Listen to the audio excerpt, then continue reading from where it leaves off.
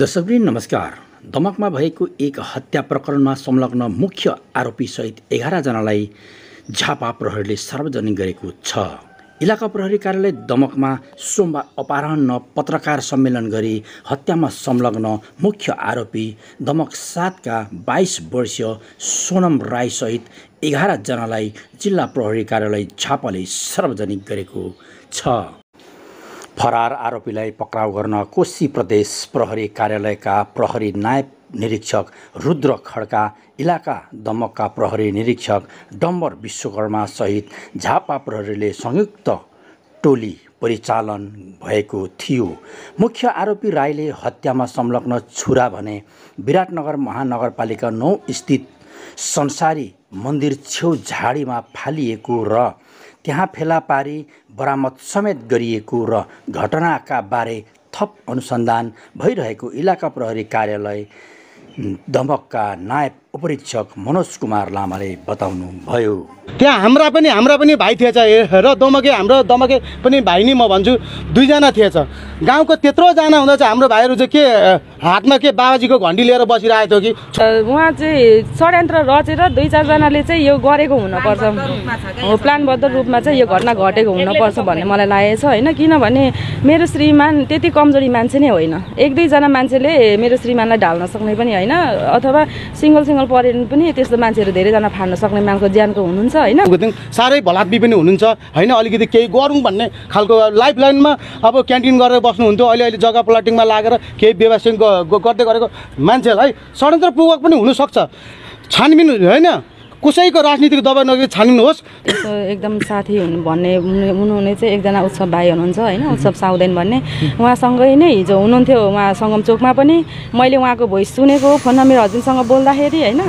अनि उहाँ उहाँहरू आ उहाँ सङ्गम चौकदेखि आएर दमक आएर उहाँहरू चाहिँ एघार बजी हामी छुट्यौँ है।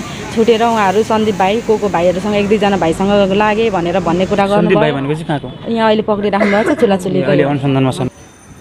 मृतक गोविन्द लिम्बूलाई झापा दमक वडा नम्बर एकको कुमाल चोक स्थित यही स्थानमा हत्या गरिएको थियो। यही रुबेल माछा फ्राई होटलको अगाडि दर्शकवृन्द अब मेरो चाहिँ माग के छ भनेदेखि होइन?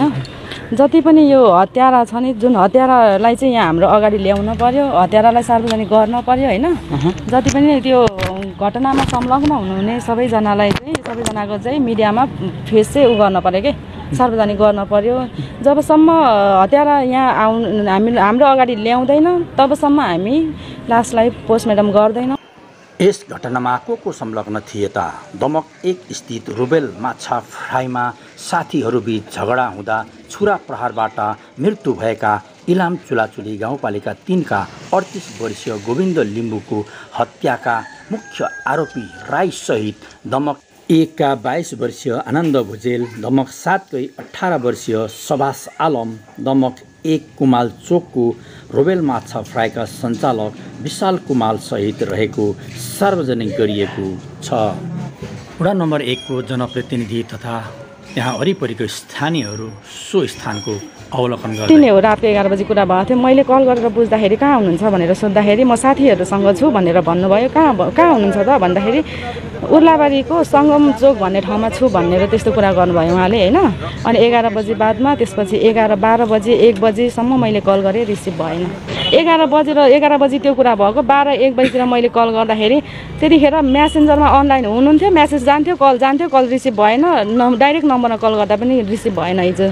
साथीभाइ नै हो मैले तिनजना चाहिँ एकदमै साथीभाइ नै हो सधैँ देखिरहेको हो होइन? अरू सानो सानो त्यो भाइहरू चाहिँ मैले देखाएको थिएन अरू बेलामा चाहिँ। अनि कस्तो भयो भने अब एकदमै त्यो सोनमले नै गरेको भनेर उहाँहरूले चाहिँ अनुसन्धानमा भन्नुभएको छ कि के छ त्यो मैले एक्ज्याक्टली मलाई थाहा छैन होइन?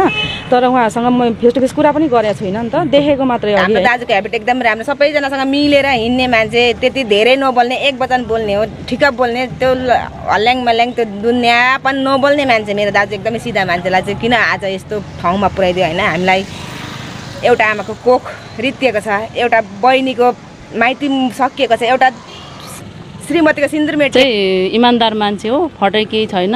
तर उहाँहरूले उहाँ त्यस्तो इमान्दार मान्छेको कुनै दुश्मनी थिएन। उहाँ कसरी चाहिँ उहाँको हत्या भयो त? उहाँ जतिजना अभियुक्तदेखि बाहेक अरू संलग्न जति हुन्छ उनीहरूलाई चाहिँ कठघरामा राख्नु पर्यो होइन? पीडितले न्याय नपाइन्जेलसम्म र अभियुक्त यहाँ दाखिल नगरिन्जेलसम्म चाहिँ पीडितले लासलाई लिनेवाला छैन। यही रुबेल माछा फ्राईका सञ्चालक विशाल कुमारलाई पनि प्रहरीले सोही दिन पक्राउ गरेर अनुसन्धानको निम्ति पूर्वपक्षमा राखिएको छ। हेरौँ हाम्रो होटल सञ्चालक भाइ कति दोषी र कति निर्दोषी भोलि छानबिनले देखाउनेछ।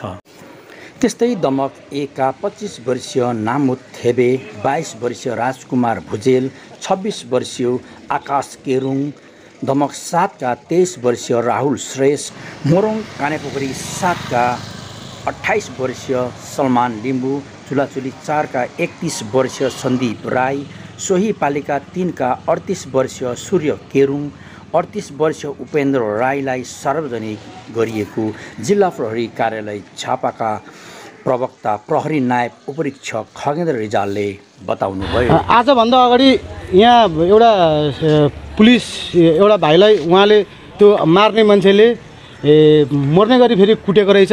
राजनीतिक कारणले गर्दा उहाँलाई छुटाएर लगेको रहेछ। त्यो चाहिँ कुन पार्टीको झोले रहेछ भनेर उहाँहरूको हेर्ने माग होइन। यदि त्यसलाई पुलिस सङ्गठन जस्तो गरिमाए पद नेपालको त्यस्तो सङ्गठनलाई हात लाउने र कारबाही भन्दा रा- राजनीतिको कारणले त दबाव कारणले त उहाँलाई छुटाएर लानु सफल भयो नि त। यदि यसलाई कानुनी कारबाहीमा त्यतिखेर गरेको भए यो अपिया घटना घट्दैन। यो आज यो घट घटना घ- घटेन। र अर्को कुरा म के भन्छु भने बेलुकासम्म सम्म रातभरि खाएँ। अब होटेलको पनि त मापदण्ड होला नि त कति बजीसम्म खाएँ। तर अब केही साथीभाइहरू पनि त कर पनि त गर्छ नि ए केही हुँदैन हामी छौँ भनेर खायो होला। त्यो आफ्नै बाटोमा रह्यो। तर हाम्रो माग के छ भने चुलाचुलीवासीको हामी चुलाचुलीवासीहरू हामी साह्रै शोकमा छौँ। होइन अहिले यहाँ घटनामा घट्यो हाट खोला भनिन्छ चुलाचुली भनिन्छ जे गर्दा भनिन्छ। सत्य तथ्य के हो? यथार्थ समाचार छाप्नु। यहाँनिर वकिल न्यायाधीश गरेर हामी अपराधी यौँ भनेर हामी भनिदिउँ न। चाहे मेरो भाइ नि परोस् चाहे मेरो बाउ नि परोस् अपराधी छोड्नु भएन।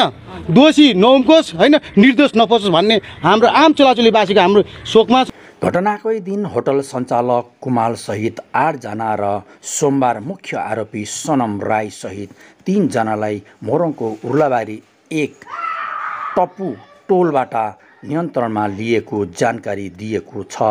उनका अनुसार तिन दिन अघि दमक एक स्थित कुमाल चोकको रुबेल माछा फ्राईमा मदिरा सेवन गरेपछि शुक्रबार राति आपसी झगडा हुँदा आरोपी राईले लिम्बूको घाँटी तथा हातमा छुरा प्रहार गरी हत्या गरिएका थिए।